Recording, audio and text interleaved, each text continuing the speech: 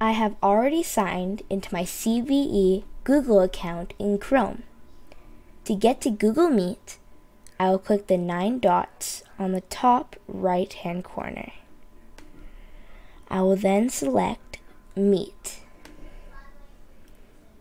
and enter the and click use a meeting code and enter the code your teacher gave you.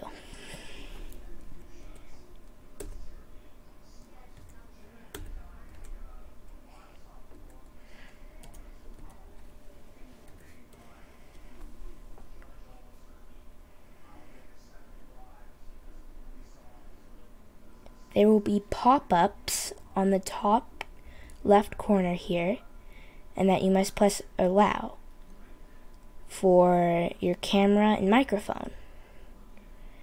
And over here there will be a giant pop-up that you can press dismiss.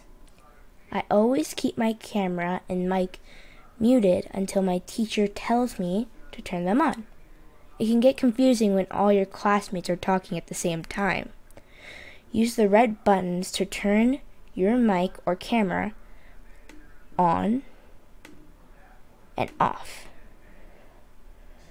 Once you have logged in, click Join Now. You will not be able to join the meeting unless your teacher has already started it and joined the meet. You can chat in the chat box.